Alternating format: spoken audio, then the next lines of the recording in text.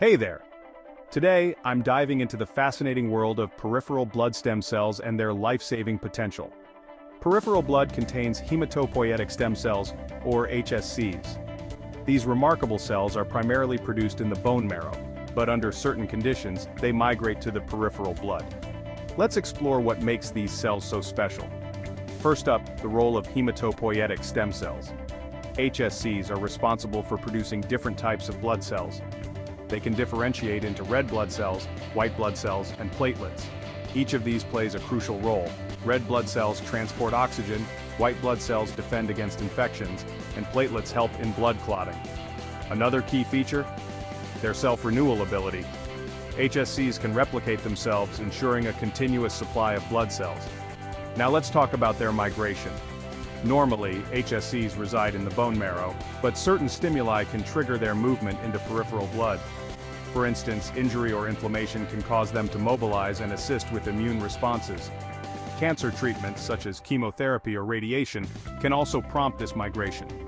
It helps the body recover by replenishing damaged cells. Additionally, for hematopoietic stem cell transplantation, drugs like GCSF are used to induce this migration, making stem cell collection more efficient.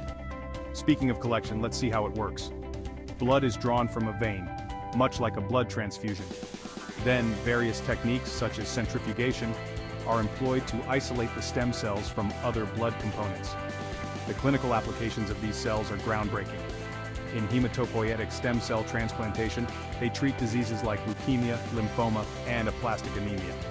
Once transplanted, these healthy stem cells regenerate the patient's blood cells.